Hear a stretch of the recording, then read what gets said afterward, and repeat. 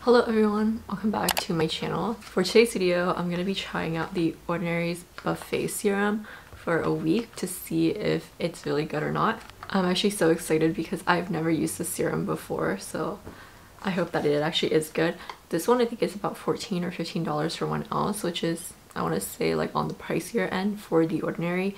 I think the niacinamide serum is literally only like 6 or $7 for one ounce, so yeah. But as I'm reading the box, it says that it visibly targets surface hydration, fine lines, wrinkles, dynamic lines, and textural irregularities. So it just seems like it's to hydrate and help with just like the overall appearance of your skin like smoothing things out and helping with like the texture of your skin. So yeah i'm really excited to try this. And i will insert like a clip of the before and then i'll show you what my skin looks like every day. And then next week when i come back and i've used this for a whole week we'll do like a little review and like compare and contrast the before and after clips to see how my skin like looks different if it looks different everything like that and guys, we are trying to hit 11,000 subscribers on this channel, so if you're new, make sure that you subscribe.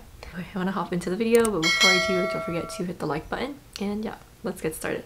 Okay, so I will insert my first impressions here. I'm going to try this starting tomorrow. So it's like a full week, so I will pop that clip in here. So my first impressions of this serum is that it's pretty like viscous, but it's not too thick. And when you apply it to your skin, it does soak in really nicely. It honestly reminds me of their other serums, like the niacinamide one or the hyaluronic one. I would say it's not as thick as the hyaluronic one and not as moisturizing, but it still feels pretty nice on the skin and very cooling.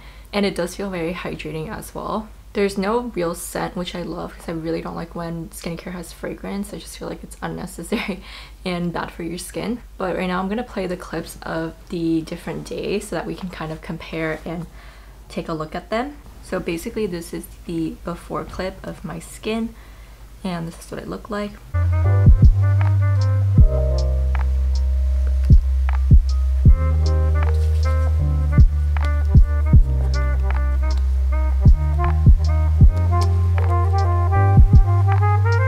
And then this is comparing day one versus day two. Honestly, I don't really notice any difference. I feel like my skin looks exactly the same.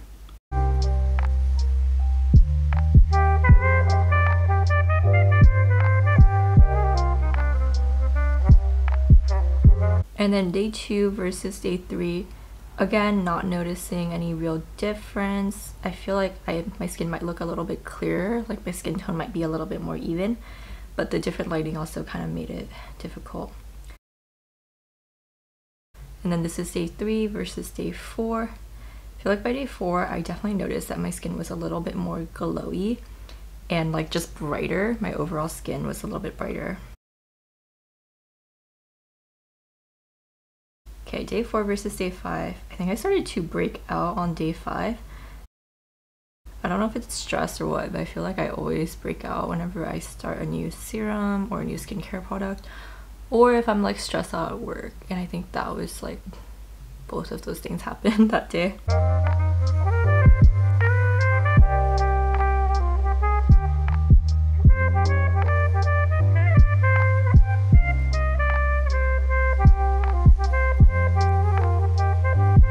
This is day five versus day six.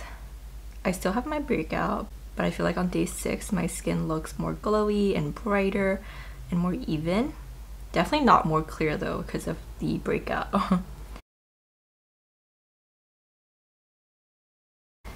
okay, and then this is the before and after. I feel like in the after clip, though I have a breakout, my skin does feel um, like a little bit, again, brighter, more even skin tone and I feel like the texture looks a little bit glowier. I don't know if you can tell, but I feel like my skin texture looks more refined, like my pores aren't as big.